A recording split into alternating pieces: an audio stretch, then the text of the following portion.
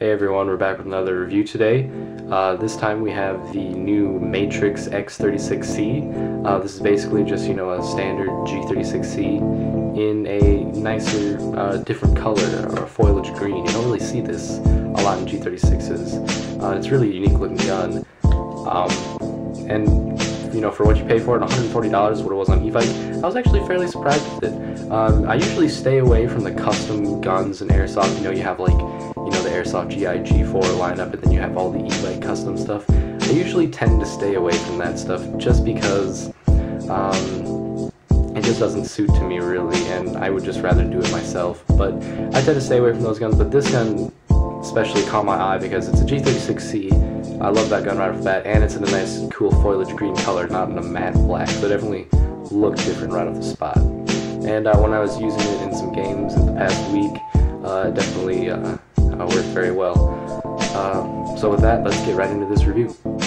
Alright, so let's uh, quickly go over what you're going to get with the Matrix X36C. Um, a nice thing about this gun is it does come with an all-metal black flash hider to replace the orange flash hider that was on here and this one is correct, it is of the uh, G36 style and it makes the gun look very nice. I have replaced mine though, but it does come with this. It also comes with one magazine. Now the nice thing about this magazine was A, it fed very well, um, B, it stuck in the mag well very nicely, and another thing too is it's a lot clearer than most other G36 magazines. As you can see, it's somewhat transparent. Um, this, this is a different magazine. As you can see it's not as clear. So it is kind of nice or con to some people. I like it because it lets me see how much ammo I have left. And last but not least you're gonna get the uh, little manual here. See anything funny about that Alright, so starting with the stock of the gun, uh, it's pretty much the same to any other G36C or G36 style stocks out there. It's a Tokyo Marui design. One thing that wasn't so nice about the stock was there was uh, you know, a noticeable seam line on top of it running. Uh, it wasn't as bad as some guns guns I've seen, but it was pretty noticeable. Uh, and another thing was the butt plate, or the butt pad, uh, is really loose. And it actually came off during a game I had, and I was lucky enough to find it. But it did come off, so I wasn't really too thrilled about that either. Uh, just put some glue on there. I mean, it's really not that hard. But other than that, it's pretty much the same as any other style stock. It does fold to the right so you just press the button. Uh, one thing I did notice though, when you're trying to push it back into place, it wouldn't really go. You actually had to push the button. So, uh, pro or con there. Uh, but other than that, yeah, it's the same standard design.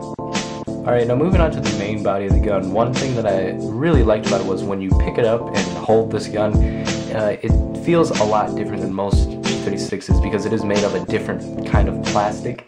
Uh, if you've ever held Magpul products or held, uh, you know, a Magpul ACR, or, you know, an A&K ACR, it, it, feels somewhat like that. It's definitely not the same, but it's similar in a sense. Uh, the selector switch on this gun functions pretty nicely, goes into place very well. I didn't find any hookups when you were shooting on semi-auto. It didn't lock up or anything. Uh, the sling point is in the back. Uh, one thing I noticed that was different about this gun was instead of a rear body pin, it's actually two uh, screws on each side and you have to unscrew those and then that will release it as the body pin would.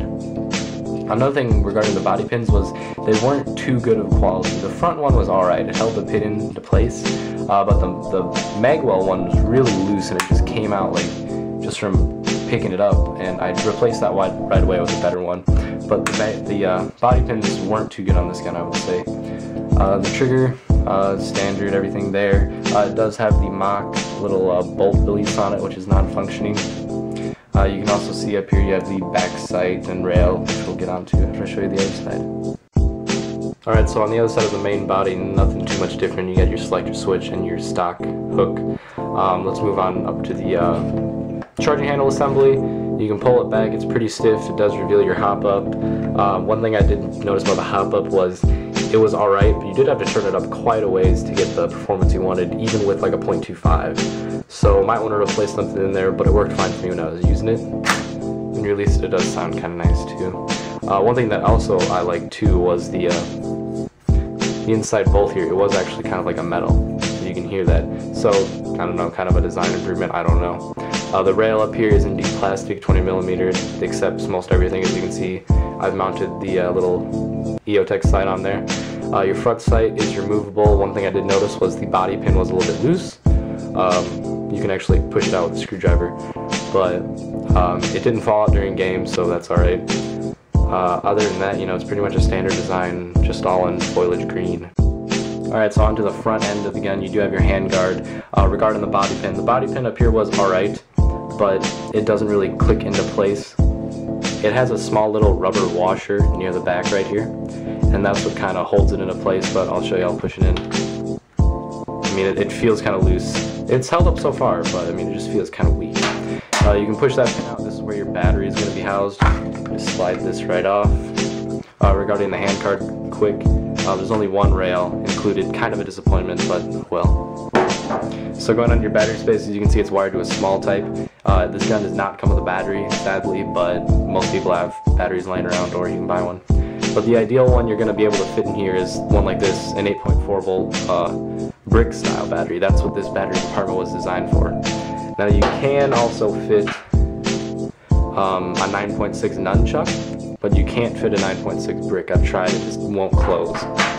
Uh, one thing I did notice too, which was kind of a con, was the actual wiring in the gun. It was fairly thin and it felt brittle, so uh, might want to watch out for the wiring. Might rip, might tear, something might go wrong there.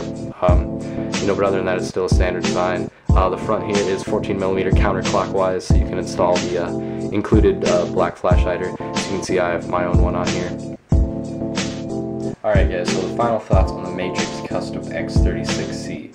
Now the most defining feature about this gun is the external build quality. Now it's not that it's, uh, you know, assembled differently from, you know, other G36s, but it's just the actual material they use is a lot different. Like I said, it feels very similar to Magpul products or just, you know, a Magpul ACR. It's, you know, very texturized, very lightweight, and very dense. You can tell that just from picking this gun up. Another thing is just look at it. I mean, it's in foliage green. I mean, anyone that's playing in a woodland environment or outdoors environment, this gun's going to be your best friend because it's to blend in perfectly. And another thing too is always accessories. You know, guns with rails and you know guns with threads. You know, you can make it look really cool. Like with this one, I got an extended inner barrel, silencer, and a holo sight on it. So you know, guns like this you can really personalize for your liking. And since it comes in a foliage green color, it's even more customizable. Um, but another thing too is the foliage green is really uh, acquired taste. Uh, when I took it to a game um, yesterday, no, two days ago, I took it to a game, and a lot of people didn't like it because they were like, oh, that color doesn't look very nice. I mean, I thought it would be a little bit different. Uh, like I said, it's very acquired taste, and you know, you just got to get used to it. It's not something you not something most people are gonna like. Uh, some people just like you know a matte black gun, or some people like two-tone guns like this one. Uh, but other than that, you know, pretty solid gun. $140 on Evike, the only place you're gonna really be able to get this gun.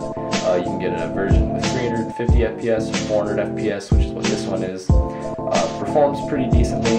Uh, the internals are really solid. Uh, you know, the air compression is great. The gun sounds perfect. I mean, the shim job was actually very nice and I was very impressed with it. Uh, so yeah, I mean $140, I mean if you got the money and you want something that looks a little bit different, go for it. I mean, I bought it and I'm definitely pleased with my purchase. So with that, this has been the review of the Matrix Custom X36C. Uh, please subscribe to my channel and get some more awesome, epic airsoft reviews and gameplay videos. And with that, I'll see you guys next time.